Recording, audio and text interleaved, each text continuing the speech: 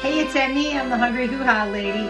It just occurred to me that somebody had said, how do you decide what to make for dinner sometimes?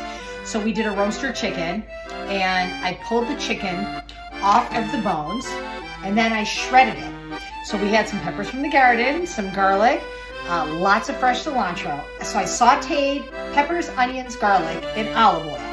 Then I'm adding the shredded chicken. Then I'm gonna add cumin, and oregano. You see where I'm going? I'm making fajitas. But my secret ingredient that's gonna give it a kick, what else? I should be a spokesperson for Cheeky Monkey. I'll put some Cheeky Monkey in it.